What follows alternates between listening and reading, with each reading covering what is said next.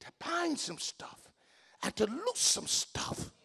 That there are some people who are in bondage. There are some people that are bound, that, that waiting for us to loose them by the word of God, that we can speak a word over their life, that whatever's got them bound, whether it's crack, cocaine, whether it's pornography, whatever's got them bound, that if we speak the word over their life, the Bible said that, that if we would just believe, Y'all don't believe me. Matthew 17. And Jesus said unto them, Because of your unbelief, verily I say unto you, if ye have faith as a grain of mustard seed, ye shall say to the mountain, Remove hence from yonder place, and it shall be removed, and nothing shall be impossible to you. I wish I had somebody in here that will open your mouth. God has given your mouth. It's time for you to learn how to bind some stuff and loose some stuff. Matthew 21 and 22. And all things whatsoever ye shall ask in prayer, believe shall ye receive. My God, Mark Mark 16. And he said unto them, Go ye into all the world, preach the gospel to every creature, and he that believeth and is baptized shall be saved, but he that believeth not shall be damned.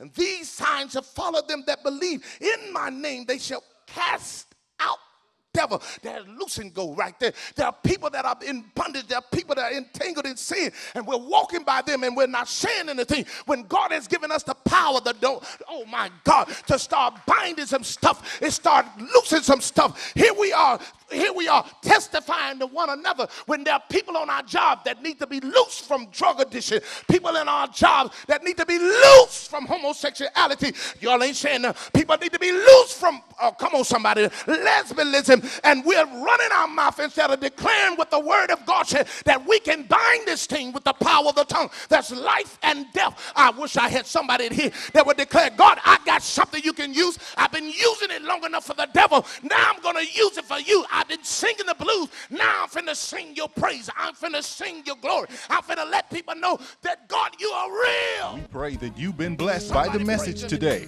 and we'd love to hear from you. Order your copy of today's message on CD or DVD by writing New Life Christian Center, 726 Middleton Street, Jackson, Tennessee 38301, or by calling 731 427 9855, or call us toll free at 888 344 6522. That's 888 344 NLCC.